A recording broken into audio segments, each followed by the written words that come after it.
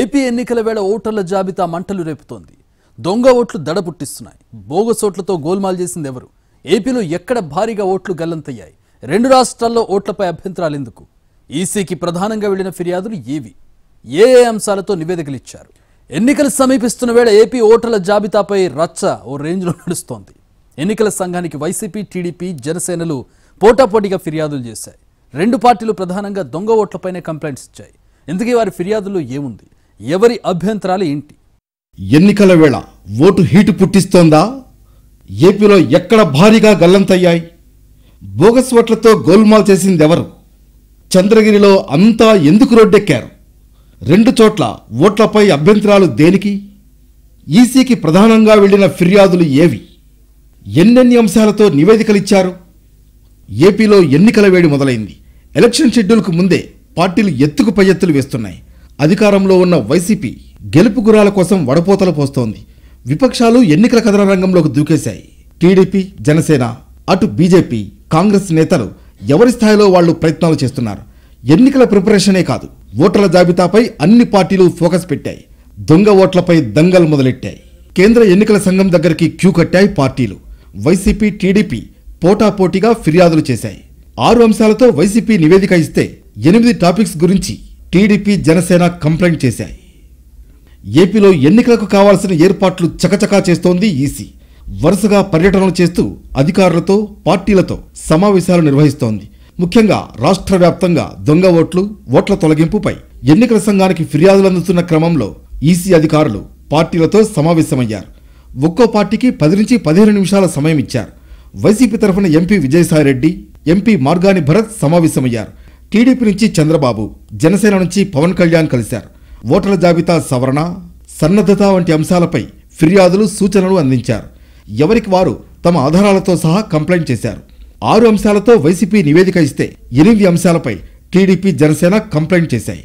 నిబంధనల ప్రకారం వచ్చే ఎన్నికల్లో జనసేనకు గాజు గ్లాస్ గుర్తు కేటాయించకూడదనే కీలక అంశాన్ని వైసీపీ తెరపైకి తెచ్చింది. టెక్నాలజీతో ఓటర్ల యాప్ రూపొందించి అవకతవకలకు పాల్పడుతోందంటూ టీడీపీపై ఫిర్యాదు చేసింది. హైదరాబాద్లో నివాసం ఉండేవారి ఓట్లను ఏపీలో నమోదు చేయించడంపై వైసీపీ అభ్యంతరం తెలిపింది. వైసీపీ నేతలు ముఖ్యంగా ఆరు అంశాలపై కేంద్ర ఎన్నికల సంఘానికి ఫిర్యాదు చేశారు. జనసేన పార్టీపై కేంద్ర ఎన్నికల కమిషన్కి కంప్లైంట్ చేశారు. గుర్తింపు లేని జనసేనకు కామన్ సింబల్ ఇవ్వొద్దని వైసీపీ అభ్యంతరం వ్యక్తం చేసింది. బోగస్ ఓట్లు రెండు చోట్ల ఓట్ల నమోదుపై చర్యలు తీసుకోవాలని ప్రధానంగా కోరినట్లు విజయసాయిరెడ్డి చెప్పారు. అన్రికగ్నైజ్డ్ పార్టీ అయినటువంటి జనసేనను ఎలా అనుమతించారు అన్నటువంటి విషయాన్ని ఎలక్షన్ కమిషన్ దృష్టికి తీసుకురావడం జరిగింది. జనసేన అన్నటువంటి పార్టీ ఇప్పటి వరకు కూడా వాళ్ళు ఇచ్చినటువంటి రిపోర్ట్ ఎలక్షన్ కమిషన్కి ఇచ్చినటువంటి రిక్వెస్ట్ ప్రకారం అలయన్స్ పార్ట్నర్ కింద తెలుగుదేశం పార్టీ జనసేన పార్టీని రి- అనుమతించమనని రిక్వెస్ట్ చేయడం జరిగింది. గ్లాస్ సింబల్ అన్నటువంటిది ఒక జనరల్ సింబల్. అటువంటి సింబల్ని గతంలో రెండు వేల పంతొమ్మిది ఎన్నికల్లో గల- గడిచినటువంటి ఎన్నికల్లో glass symbol throughout the state ఇవ్వడం జరిగింది. అటువంటి సింబల్ని కామన్ సింబల్ని ఒక పొలిటికల్ పార్టీకి ఒక సింబల్ కేటాయించడం జనరల్ సింబల్లో నుంచి అది చట్ట విరుద్ధం అది అన్నటువంటి విషయాన్ని కూడా మేము ఎలక్షన్ కమిషన్కి నివేదించడం జరిగింది. ఏకంగా పది లక్షల ఓట్లు బోగస్ అని వాటిని తొలగించాలని టీడీపీ ఫిర్యాదు చేస్తే దాన్ని ఎలా పరిగణనలోకి తీసుకున్నారు అన్న అంశాన్ని ఈసీ ప్రతినిధుల దగ్గర వైసీపీ ప్రస్తావించింది. అసలు ఆ పది లక్షల ఓట్లకు సంబంధించిన డేటా కోనేరు సురేష్కు ఎలా లభించిందన్న దానిపై దర్యాప్తు చేయాలని కోరింది. తెలంగాణలో పార్లమెంట్ ఎన్నికలు ఏపీలో ఎన్నికలను ఒకే రోజు జరపాలని కోరారు ఎంపీ విజయసాయిరెడ్డి.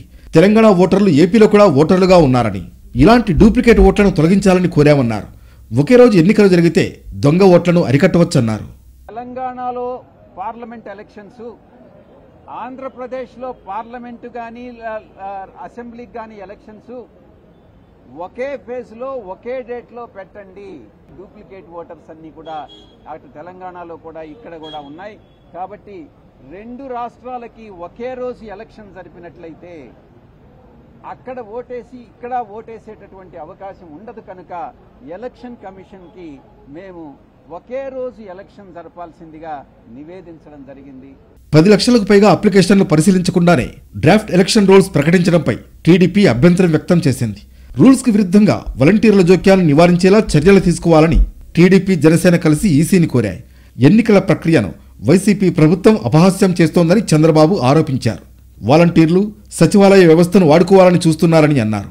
ఎనభై మూడు నియోజకవర్గాల్లో మహిళా కానిస్టేబుళ్ళను బిఎల్ఓగా నియమించారని తెలిపారు. ఆల్ ఇండియా లెవెల్లో టీచర్స్ని గవర్నమెంట్ ఆఫీసర్స్ని అనుభవం ఉండే వ్యక్తులు పెట్టుకుంటారు. వాళ్ళందరినీ లేదని చెప్పి వాళ్ళ మేము ఇవ్వం ఇవ్వలేమని గవర్నమెంట్ చెప్పి కడాన ఎన్నికలను అపహాస్యం చేసే విధంగా సచివాలయ స్టాఫ్తో వాలంటీర్లతో కండక్ట్ చేయాలని ప్రయత్నం చేస్తున్నారు.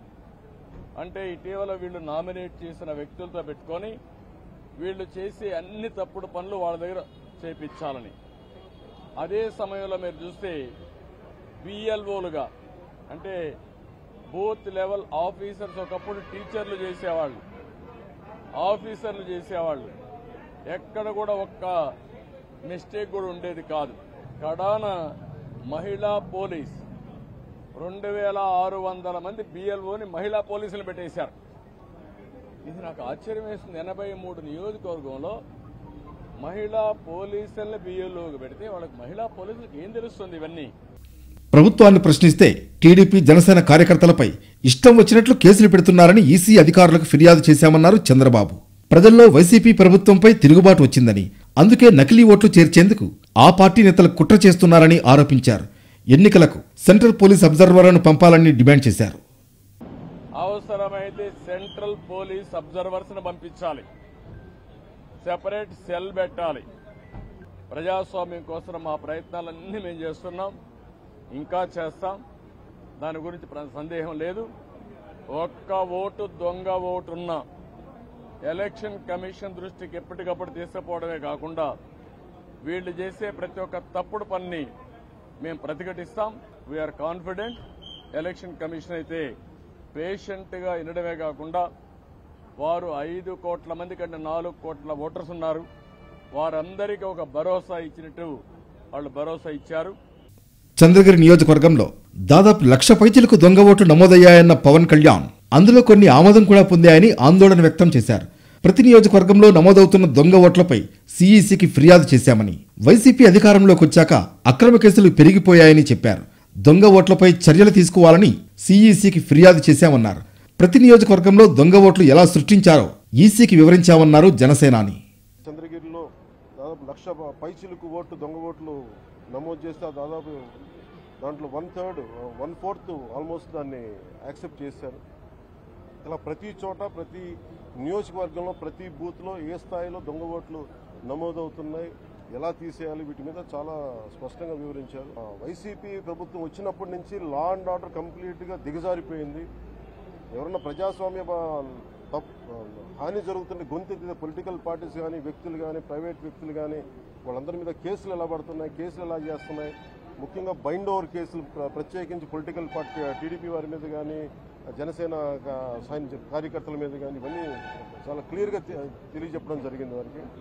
చంద్రబాబు పవన్ కళ్యాణ్కు స్ట్రాంగ్ కౌంటర్ ఇచ్చారు మంత్రి అంబటి రాంబాబు. పార్టీ ఫిరాయింపు ఎమ్మెల్యేతో వెళ్ళి దొంగ ఓట్లపై ఫిర్యాదా అని విమర్శించారు. దేశంలో ప్రజాస్వామ్యంపై నమ్మకం లేని వ్యక్తి ఒక్క చంద్రబాబేనని రాంబాబు అన్నారు. బాబుకు ప్రజాస్వామ్యంపై ఎప్పుడూ నమ్మకం లేదని క్యాష్ క్యాష్ కుట్రలు కుతంత్రాలపై మాత్రమే నమ్మకం ఉందని మండిపడ్డారు. గుర్తింపు లేని రాజకీయ పార్టీ కదా. ఏది?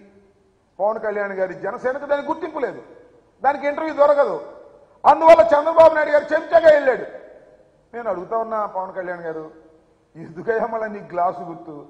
ఆ సైకిల్తోనే పోటీ చేయలేదు ఎందుకు వచ్చింది కూడా ఇదంతా? విలీనం చేసాయి కొట్టేయి దెబ్బ మీద దెబ్బ. ఏమైంది?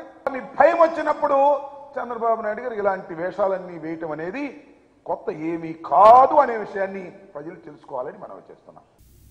ఆయనతో పాటు వైఎస్ఆర్సీపీని మోసం చేసి డబ్బు తీసుకుని టీడీపీకి ఓటు వేసిన తాడికొండ ఎమ్మెల్యే శ్రీదేవిని తీసుకువెళ్ళారన్నారు అంబటి.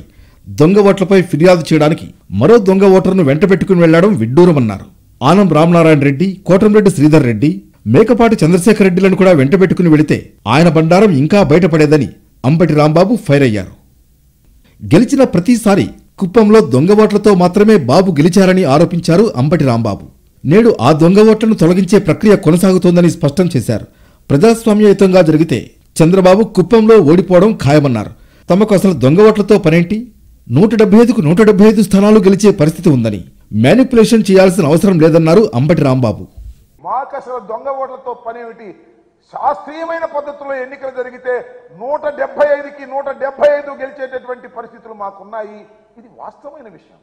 మేము మ్యానిపులేషన్ చేయాల్సిన అవసరం మాకు లేదు. అసలు మ్యానిపులేట్ చేసే లక్షణమే మాకు లేదని కూడా ఈ సందర్భంగా నేను మనవి చేస్తున్నాను. ఈసీకి ప్రధానంగా బోగస్ ఓట్లపై అధికార విపక్షాలు ఫిర్యాదు చేశాయి. ఈ పోటాపోటీ ఫిర్యాదులపై ఎన్నికల సంఘం ఏం చేయబోతోంది? ఎలక్షన్ షెడ్యూల్ త్వరలోనే రాబోతోంది. ఈలోపే బోగస్ ఓట్లను తొలగిస్తుందా? ఓటర్ల జాబితా పక్కాగా ఉండేలా రూపొందిస్తుందా అనేది ఆసక్తిని రేపుతోంది. దొంగ ఓట్లే కాదు డ్యూయల్ ఓట్లు కూడా ఉన్నాయి. అగ్గిరాజేస్తూ ఉన్నాయి ఈ రెండు కూడా. రెండు రాష్ట్రాల్లోనూ ఓటున్న వారు ఆరేడు లక్షల మంది ఉంటారని టాక్. వీరిప్పుడు ఏపీలోనూ ఓటేసేందుకు రెడీ అవుతున్నారు. ఇలాంటి డబుల్ ఓట్లు తొలగించాలని వైసీపీ ఈసీని కోరుతోంది. ఏపీ అసెంబ్లీ పార్లమెంట్ ఎన్నికలతో పాటు తెలంగాణలో సార్వత్రిక ఎన్నికలు ఉండేలా చూడాలని పట్టుబడుతోంది. ప్రజాస్వామ్యంలో నేతల రాతలు మార్చేది ప్రజల భవిష్యత్తును నిర్ణయించేది ఓటే. అటువంటి ఓట్లతో కొంతమంది నేతలు చెలగాటమాడుతున్నారు. బిఎల్ఓలపై ఒత్తిడి తెస్తూ ఓట్ల జాబితాలను ఇష్టారీతిన మార్చేశారు. కొన్ని చోట్ల ఒకే ఇంటి నంబరుపై పదుల్లో మరికొన్ని చోట్ల అసలు ఇంటి నంబరే లేకున్నప్పటికీ ఓట్లను చేర్చేశారు. ఈ దొంగ ఓట్లపై ఏపీలో ఎప్పటినుంచో రచ్చ నడుస్తూనే ఉంది. పార్టీలు మీరంటే మీరు బోగస్ ఓట్లు చేర్పించారంటూ గల్లీ నుంచి ఢిల్లీ దాకా వెళ్ళాయి ప్రధాన పార్టీలకు చెందిన నేతలు కేంద్ర ఎన్నికల సంఘం అధికారులకు ఒకరిపై ఒకరు ఫిర్యాదు చేసుకున్నారు. ఏపీలో దొంగ ఓట్లే కాదు డ్యూయల్ ఓట్స్ అంశం కలకలం రేపుతోంది. ఇప్పుడు ఇదే అంశంపై వైసీపీ అభ్యంతరం చెబుతోంది. ఎలాగూ ఏపీ అసెంబ్లీ ఎన్నికలు పార్లమెంట్ ఎన్నికలు ఒకేసారి జరుగుతాయి. ఏపీతో పాటు తెలంగాణలో పార్లమెంట్ ఎన్నికలు ఒకేసారి నిర్వహించాలని ఈసీని వైసీపీ కోరుతోంది. ఇలా చేస్తే డ్యూయల్ ఓట్లకు చెక్ పెట్టొచ్చని అంటోంది. రెండు రాష్ట్రాల్లో ఓటు హక్కు కలిగి ఉండడమే కాకుండా అక్కడ ఇక్కడ రెండు చోట్ల ఓటేసేందుకు సిద్ధమైపోతున్నారు ఏపీ వాసులు. ఇది చాలా ప్రమాదకర పరిస్థితి. అలాంటి ఒక్క ఓటు ఉన్నా ప్రమాదకరమే కానీ ఇక్కడ లక్షల్లో డబుల్ ఓటర్లున్నారు. దాదాపు ఆరు నుంచి ఏడు లక్షల డ్యూయల్ ఓట్లు ఉన్నాయని అంచనా. అందుకే రాజకీయ పార్టీలు ఈ అంశంపై దృష్టి సారించాయి. ఎన్నికలు సమీపిస్తున్న వేళ ఓటు రాజకీయం మొదలైంది. తెలంగాణ ఎన్నికలు ముగియడంతోనే ఏపీలో ఓట్ల పంచాయతీ ప్రారంభమైంది. ఏపీ తెలంగాణ రెండు రాష్ట్రాల్లోనూ ఓటు హక్కు కలిగి ఉన్న అంశం ఇప్పుడు రచ్చరేపుతోంది. ఉద్యోగం కోసమో ఉపాధి కోసమో తెలంగాణలో స్థిరపడిన వాళ్ళంతా ఇక్కడ ఓటు హక్కు పొందారు. అదే సమయంలో ఏపీలో కూడా ఓటు హక్కు కలిగి ఉన్నారు. ఈ సంఖ్య వందల్లో వేలల్లో కాకుండా లక్షల్లో ఉండడం ఆందోళన కలిగిస్తోంది. రెండు వేల పద్దెనిమిదిలోనే ఈ అంశం అప్పట్లో తెరపైకి వచ్చినా ఎన్నికల సంఘం పట్టించుకోలేదు. ఇప్పుడు ఏపీలో అధికార పార్టీ వైఎస్ఆర్ కాంగ్రెస్ ఈ అంశంపై దృష్టి సారించింది. ఏపీలో స్థానికత కలిగి తెలంగాణలో ఓటు హక్కు కలిగిన వాళ్ళు నలభై లక్షల వరకు ఉన్నారని వైసీపీ ఆరోపిస్తోంది. వీరిలో కనీసం పది లక్షల మందికి ఏపీలోనూ ఓటు హక్కు ఉందని ఎన్నికల సంఘానికి ఫిర్యాదు చేసింది. రెండు చోట్ల ఓటు హక్కు కలిగిన వారిని గుర్తించి తొలగించాలని వైసీపీ డిమాండ్ చేస్తోంది. ఇప్పటికే ఈ విషయమై మంత్రులు వేణుగోపాలకృష్ణ జోగి రమేష్ శాసనమండలి whip Lella Appireddy MP Gurumurthy AP ఎన్నికల కమిషనర్ మీనాకు ఫిర్యాదు చేశారు. ఇటీవల జరిగిన తెలంగాణ ఎన్నికల్లో ఓటేసిన వాళ్ళు తిరిగి ఏపీ ఎన్నికల్లో ఓటేయకుండా చూడాలని వినతిపత్రం సమర్పించారు. ముఖ్యంగా ఓ సామాజిక వర్గం ఓట్లు ఒకటి కంటే ఎక్కువ చోట్ల ఉన్నాయని ఇలాంటి డూప్లికేట్లను తొలగించాల్సి ఉందన్నారు. రెండు రాష్ట్రాల్లో ఓటు హక్కు కలిగిన వాళ్ళు నాలుగు లక్షల ఎనభై వేల రెండు వందల అరవై నాలుగు మంది ఉన్నారంటూ ఆధారాలతో ఎన్నికల కమిషన్కు అందించారు. ఇలాంటి డబుల్ ఎంట్రీ ఓట్లను తొలగించాలని కోరారు. అర్హులైన వారికి దేశంలో ఒకే చోట ఓటు హక్కు ఉండేలా చూడాలని ఈసీ కోరారు. ఇదే అంశాన్ని విజయసాయిరెడ్డి కూడా ఈసీ అధికారుల దగ్గర మంగళవారం ప్రస్తావించారు. డ్యూయల్ ఓట్లపై కఠిన చర్యలు తీసుకోవాలని కోరారు. ఓటర్ల జాబితాలో పేరు ఉండి స్థానికంగా నివసించిన వారి ఓట్లను ఎప్పటికప్పుడు తొలగించకుండా బిఎల్ఓలు వదిలేస్తూ ఉండడం వల్ల ఈ పరిస్థితి తలెత్తింది. స్థానిక నేతల ఒత్తిడి ఓటర్ల వినతులు వంటి కారణాలతో ఆ ఓట్లు కొనసాగుతున్న పరిస్థితి ఉంది. తెలుగు రాష్ట్రాల ఓటర్లు దేశంలోని అన్ని ప్రాంతాల్లో ఉంటున్న మిగిలిన రాష్ట్రాలతో పెద్దగా సమస్య లేదని ఎన్నికల సంఘం చెబుతున్నమాట కానీ ఏపీలో డ్యూయల్ ఓట్లు లక్షల్లో ఉన్నాయి. మిగతా ఏ రాష్ట్రంలో ఇంత సంఖ్యలో డబుల్ ఓట్లు ఉండవు. ఏపీలో కొన్ని నియోజకవర్గాలపై ఈ ఓట్లు ప్రభావం చూపే స్థాయిలో ఉన్నాయి. అందులోనూ ఒకే సామాజిక వర్గం డ్యూయల్ ఓట్లు ఎక్కువగా ఉండడం వైసీపీకి ఆందోళన కలిగిస్తోంది. ఆ సామాజిక వర్గంపై మరో పార్టీ ఫోకస్ చేసింది. ఈ ఓట్లు గంపగుత్తగా పడితే కొన్ని నియోజకవర్గాల్లో విజయం సాధించవచ్చని భావిస్తోంది. అందుకే ప్రత్యర్థి పార్టీ ఎత్తుల్ని చిత్తు చేసేందుకు వైసీపీ సీరియస్గా ప్రయత్నిస్తోంది. డ్యూయల్ ఓట్ల సంగతి తేల్చాల్సిందేనని ఈసీని పట్టుబడుతోంది. నిజానికి ఒక వ్యక్తికి ఒకే రాష్ట్రంలో ఓటు హక్కు ఉండాలి. ఆ ఓటు హక్కు ఎక్కడుండాలనేది సదరు ఓటరు ఓటర్ అర్హత ఆధారంగా ఎన్నికల సంఘం నిర్ణయించాల్సి ఉంటుంది. సమస్య లేదు కాబట్టి రెండు రాష్ట్రాల్లో ఓటు హక్కు ఉన్నా పర్వాలేదనుకోవడం ప్రజాస్వామ్య స్ఫూర్తికి విరుద్ధమే. ఇలా పదులు వందలు అయితే లైట్ తీసుకోవచ్చు. కానీ లక్షల్లో ఉండడమే అసలు సమస్య. ఈ ఓట్లే ఇప్పుడు ఏపీ రాజకీయాల్లో మరో రచ్చను రాజేస్తున్నాయి. త్వరలో ఏపీ అసెంబ్లీ పార్లమెంట్తో పాటు తెలంగాణ పార్లమెంట్ ఎన్నికలు కూడా జరగనున్నాయి. అప్పుడు కూడా రెండు చోట్ల ఓటేసేందుకు సిద్ధమైతే పరిస్థితి ఏంటనే ప్రశ్నకు సమాధానం లేదు. రెండు రాష్ట్రాల్లో ఓటు హక్కు కలిగి ఉండి మొన్న తెలంగాణలో ఓటేసి ఇప్పుడు ఏపీలో ఓటేసేందుకు సిద్ధమవుతున్న ఓటర్ల సంఖ్య ఫలితాల్ని తారుమారు చేసే స్థితిలో ఉండడం ఆందోళన కలిగించే అంశం. అందుకే అధికార వైసీపీ ఇప్పుడు ఈ డబుల్ ఎంట్రీ ఓట్లపై సీరియస్గా దృష్టి సారించింది. రెండు వేల పద్నాలుగు ఎన్నికల్లో డబుల్ ఓట్ల ఎఫెక్టే ఓటమికి కారణమని గుర్తు చేస్తోంది. మళ్ళీ ఆ పొరపాట్లు రిపీట్ కాకుండా జాగ్రత్త పడుతోంది. ఈ విషయంలో ఈసీ ఏ నిర్ణయం తీసుకుంటుందనేది ఆసక్తికరంగా మారింది. ఏపీలో ఓట్ల పంచాయతీ ఇప్పటిది కాదు. ఎప్పటి నుంచో రగులుతూనే ఉంది. ఏపీలో అసలు ఓట్లెన్ని దొంగ ఓట్లెన్ని? ఎక్కడా లేని వివాదం అక్కడే ఎందుకు? దొంగ ఓట్లకు కర్త కర్మ క్రియ ఎవరన్నది కనిపెట్టడం ఎన్నికలు సమీపిస్తున్న వేళ ఈసీకి కష్టమే. మరి కేంద్ర ఎన్నికల కమిషన్ ఏం చేయబోతోంది? ఈ వివాదానికి ఎలా ఫుల్ స్టాప్ పెట్టబోతోంది? చంద్రగిరిలో లక్ష దొంగ ఓట్లు ఉన్నాయన్న చంద్రబాబు ఆరోపణలు రచ్చరేపాయి. ఒక్క చంద్రగిరిలోనే ఫామ్ సిక్స్ కింద లక్షా పదిహేను వేల ఓట్లు ఇచ్చారన్నారు. వాటిలో దాదాపు ముప్పై మూడు వేల ఓట్లను ఆమోదించారని దీనికి సంబంధించిన అన్ని ఆధారాలను సిఈసికి ఇచ్చామన్నారు చంద్రబాబు. ఈ ఆరోపణల్ని వైసీపీ నేతలు కొట్టిపారేశారు. రెండు వేల పంతొమ్మిది సార్వత్రిక ఎన్నికల్లో చంద్రగిరి అసెంబ్లీ పరిధిలో రెండు లక్షల తొంభై వేల ఓట్లు ఉంటే ఇప్పుడు మూడు లక్షల ఎనిమిది వేల ఓట్లు ఉన్నాయని స్పష్టం చేశారు. ఐదేళ్ళలో పెరిగిన ఓట్లు పదహారు వేలు మాత్రమే అని వివరించారు. లక్ష దొంగ ఓట్లు అంటూ తప్పుడు ప్రచారం చేస్తున్నారని మండిపడ్డారు వైసీపీ నేతలు. అసలు ఎవరి వాదనలో వాస్తవమెంత ఏపీలో దొంగ ఓట్ల పంచాయతీ ఇప్పటిది కాదు. ఎప్పటినుంచో రగులుతూనే ఉంది. నిజానికి ఏపీలో ఎన్నికల దగ్గర పడుతున్న వేళ నకిలీ ఓట్లు అనర్హులను లిస్టులో చేర్చడం అర్హులను తొలగించడం చకచకా జరిగిపోయాయి. దీంతో భారీ ఎత్తున అనర్హులు ఓటర్ల జాబితాల్లోకి ఎక్కేశారు. పార్టీల నేతలు తమకు వీలైన చోట్ల ఇలా భారీ ఎత్తున నకిలీ ఓట్లను జాబితాల్లోకి చేర్పించేశారు. తిరిగి వారే తమకు ఓటేరని భావించిన వారి పేర్లు తొలగించాలంటూ దరఖాస్తులు చేయడం కూడా మొదలుపెట్టారు. ఇలా ఏపీలో దాదాపు పదిహేను లక్షల నకిలీ ఓట్లు ఉన్నట్లు ఫిర్యాదులు వచ్చాయి. ఓటర్ల జాబితాలో భారీ ఎత్తున అక్రమాలు జరిగినట్లు ప్రధాన పార్టీలైన వైసీపీ టీడీపీ జనసేన ఎన్నికల సంఘానికి ఫిర్యాదులు చేస్తూనే ఉన్నాయి. ఇలా చేస్తున్న ఫిర్యాదుల ప్రకారం పద్నాలుగు లక్షల నలభై ఎనిమిది వేల మంది అనర్హులు జాబితాల్లో ఉన్నట్లు ఆరోపించాయి. దీనిపై విచారణ జరిపిన ఎన్నికల సంఘం అధికారులు ఐదు లక్షల అరవై నాలుగు వేల మంది అనర్హుల్ని తొలగించారు. అంటే కేవలం మూడో వంతు మాత్రమే. మిగతా అభ్యంతరాలు ఉన్న ఓట్లు సరైనవే అని ఈసీ భావించినట్లు తెలుస్తోంది. అలాగే నిబంధనలకు విరుద్ధంగా ప్రత్యర్థుల ఓట్లు తొలగించమని కోరుతూ గంపగుత్తగా ఫామ్ సెవెన్లు దాఖలు చేసిన వ్యవహారంలో కాకినాడ సిటీ పరిధిలో పదమూడు కేసులు నమోదయ్యాయి. అలాగే పరచూరులో పది కేసులు నమోదయ్యాయి. వీటితో పాటు గుంటూరు పశ్చిమ చంద్రగిరి బనగానపల్లిలోనూ ఒక్కో కేసు నమోదైంది. అలాగే ఉరవకొండ సీట్లో ఇద్దరు ఈఆర్ఓలు ప్రొద్దుటూరులో ఓ ఈఆర్ఓ పరుచూరులో ఓ ఏఈఆర్ఓ ఓ సిఐ ముగ్గురు ఎస్ఐల్ని కూడా ఈసీ సస్పెండ్ చేసింది. రాష్ట్ర వ్యాప్తంగా యాభై మంది బిఎల్ఓల్ని కూడా సస్పెండ్ చేశారు. కేంద్ర ఎన్నికల సంఘానికి విపక్ష టీడీపీ ఇచ్చిన ఫిర్యాదుపై స్పందించిన ఏపీ సీఈఓ ఈ చర్యలు తీసుకున్నట్లు తిరిగి వారికి ప్రత్యుత్తరం ఇచ్చారు.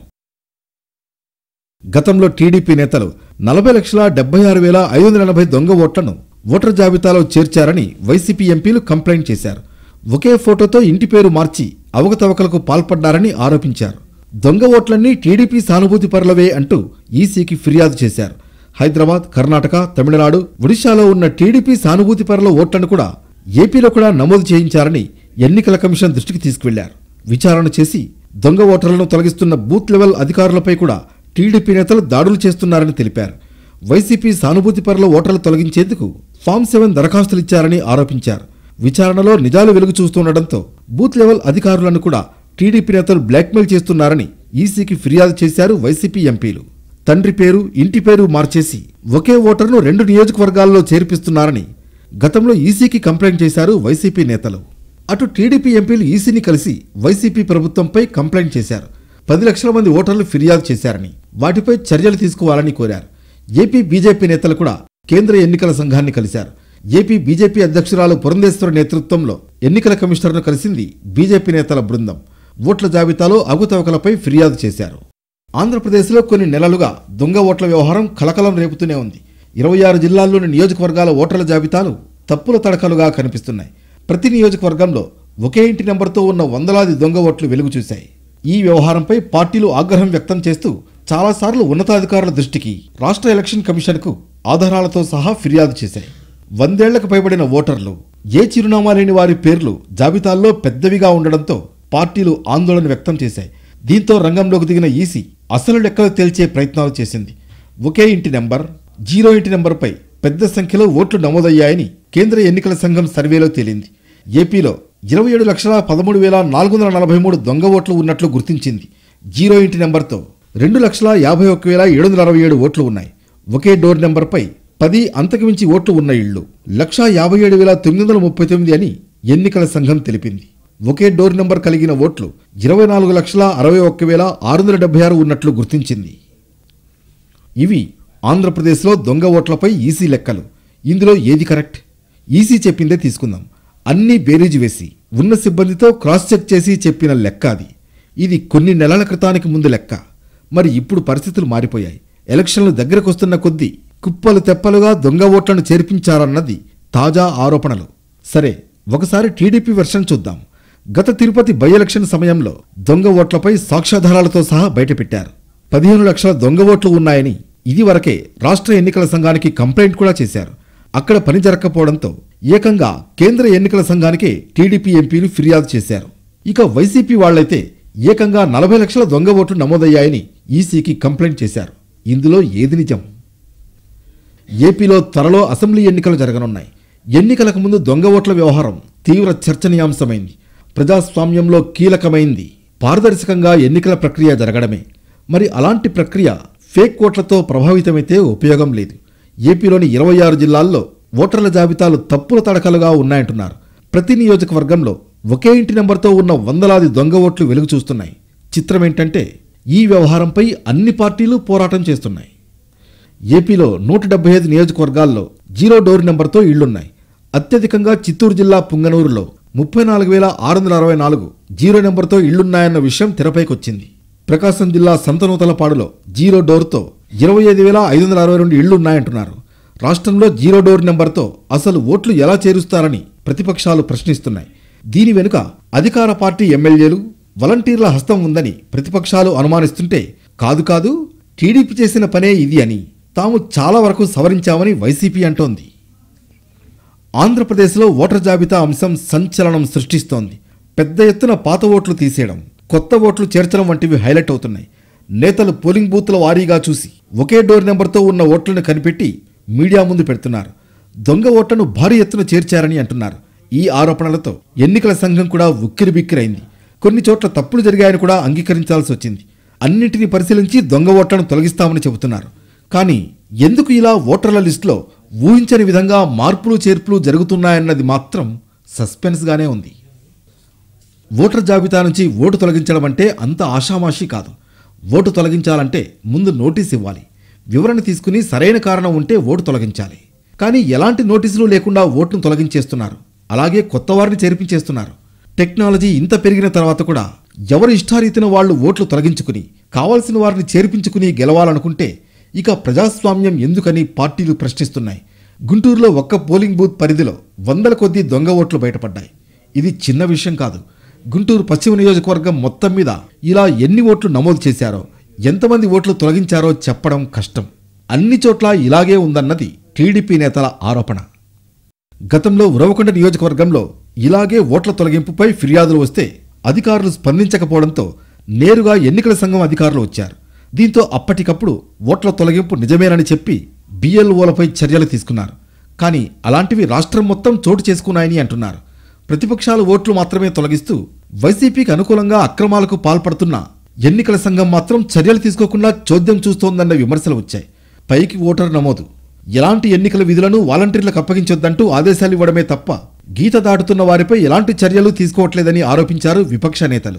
ఇలా ఫిర్యాదులతో కదిలిన కేంద్ర ఎన్నికల సంఘం తనిఖీలకు ఆదేశించింది. ఆ తనిఖీల్లో చిత్ర విచిత్రాలు బయటపడ్డాయి.